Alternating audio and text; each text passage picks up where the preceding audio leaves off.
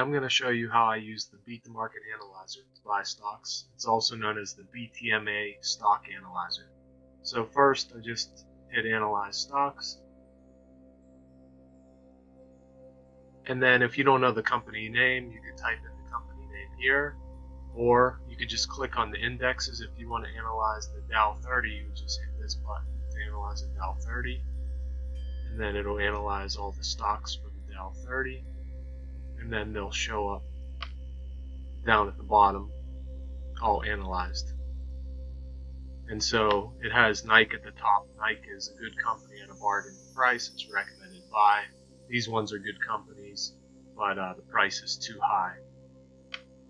And then you can also set a margin of safety. So for example, if we analyze the S&P 500,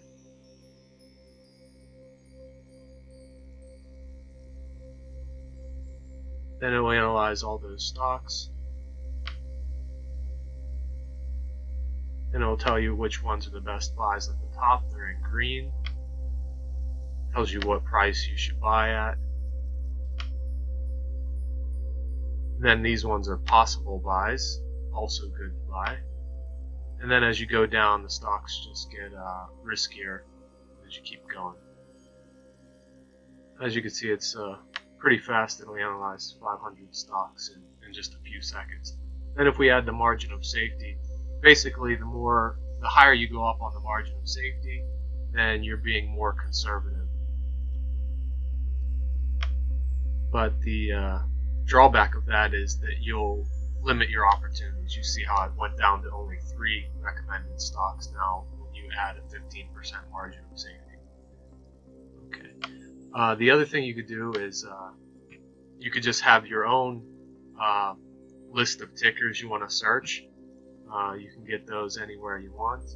Uh, you can use the 52 week low tickers or any index. And you retrieve those. And um, I have it already set at a 15% margin of safety. Go down and you can see which ones you like. Um, out of these, uh, I actually like Carter's, and I know of this company. They sell baby clothes and children's clothes, and um, you can go through and look at the information for the company.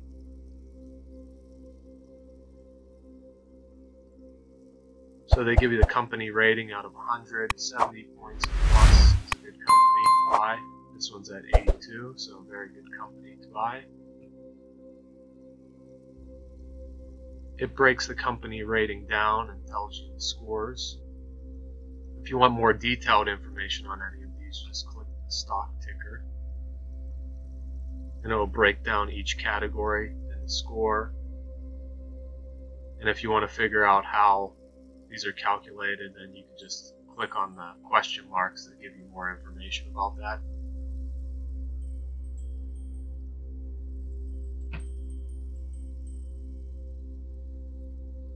Then you can check out uh, stock value as well. This gives you intrinsic values and not just one intrinsic value. Um, you have one here, but it's actually broken down into various intrinsic values. So it gives you price earnings model, residual income, discounted cash flow, and then it gives you different situations. If the uh, growth was similar as the past five years, the analysts forecasted next five years uh, forecasted growth. If it was at 10% growth rate, uh, 3% like inflation rate, or at 0% growth rate. And yeah, it breaks these down into each one, and then it gives you your average here. And then when you go back, it removes outliers and normalizes the information to give you one intrinsic value here and an estimated value of the stock. It also uses a Buffett valuation comparison method. This gives you the, expect, the expected annual compounding rate of return. So you can see that Carter's is at around 12%. So that would be a good return. Gives you pricing information. So you can see 52 week highs and lows in the midpoint. So at 95 is the midpoint, and right now it's out around 79 something. So you can see that it's it's pretty low compared to the midpoint. It's only about uh, 0.75% away from the 52 week low. So this might be a great time to buy this company. Look at the fundamentals here. And uh, you can see here that less than 1 could be good. It's at 0.75 for the debt equity. The P ratio under 16 and this one is very close to 16 and then the current ratio greater than 1 this is greater than 1 it also has a dividend gives you the market cap. And you can go through all these. If there are any problems here then it'll be marked in red. You can see Carter's doesn't have any problems according to that. And then you can also check the complete view here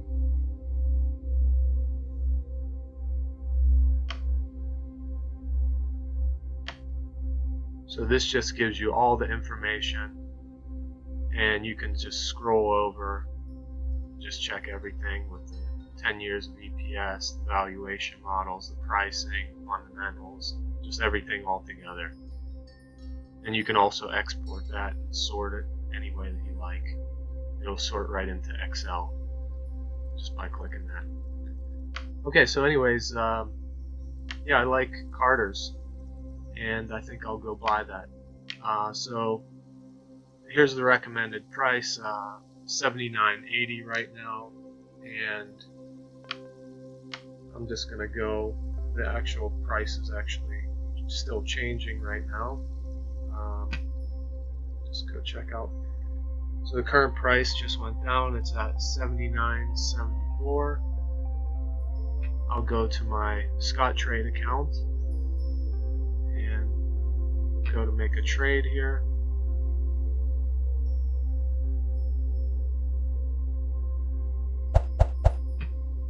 Okay, I want to buy Carter's, which is CRI. And I almost always use limit orders.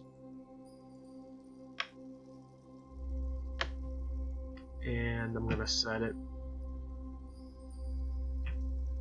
good date.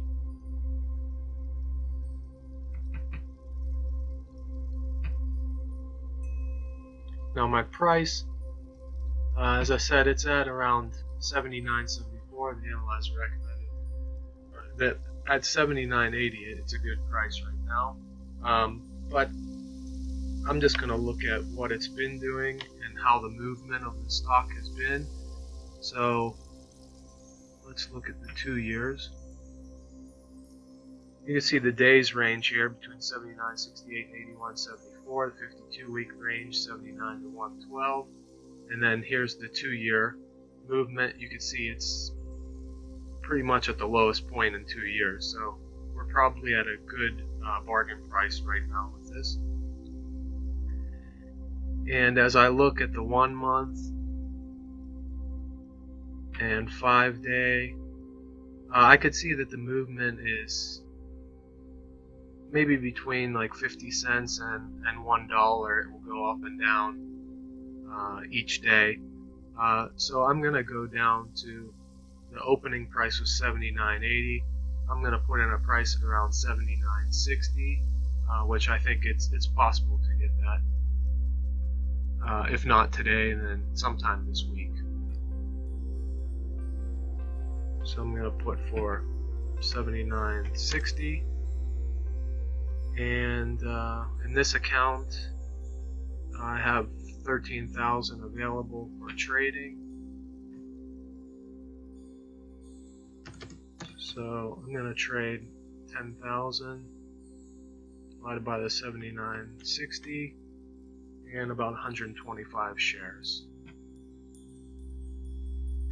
put in 125 shares. Review my order. Yep, that's correct.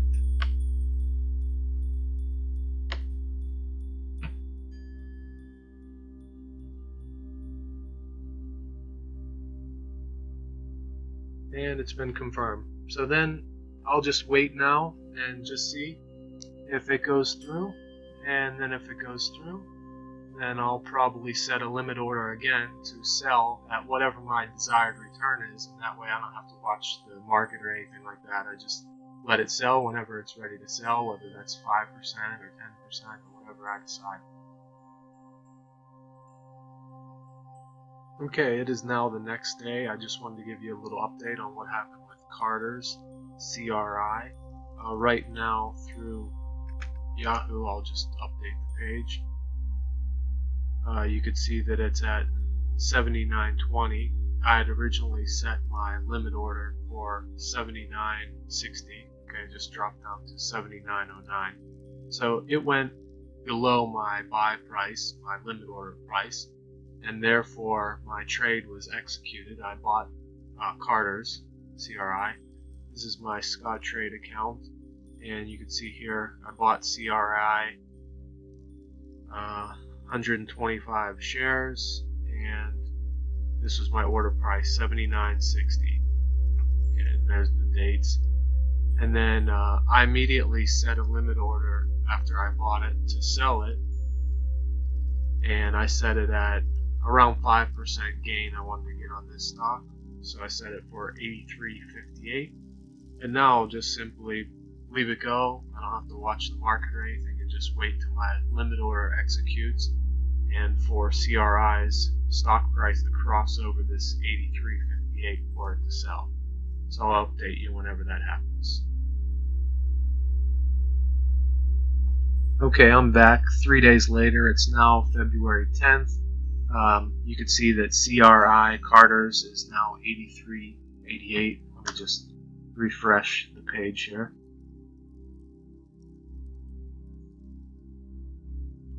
Yeah, it looks like it's still around 83.88. Uh, if I go over here, you could see that I originally bought CRI 125 shares at 79.60. Um, the trade date was February 7th, and then here on February 10th, uh, I sold. It's just split up into the different. It was partially sold on these, so it adds up to the 125 shares. It was sold at 83.58, which ends up being a 5% gain.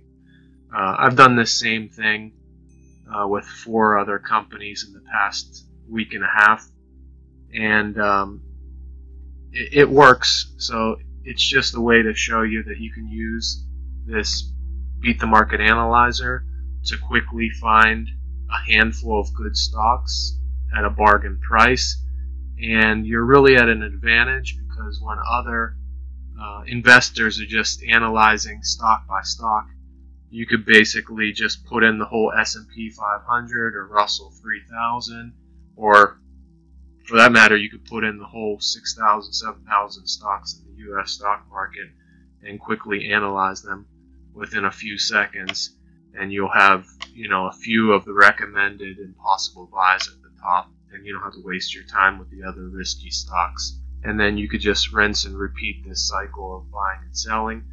I usually am able to buy and then sell within about a month and a half, getting a 2.5% to 5% gain. And then I just rinse and repeat that process, and it ends up compounding my profits uh, very nicely. So I find the same thing with my customers.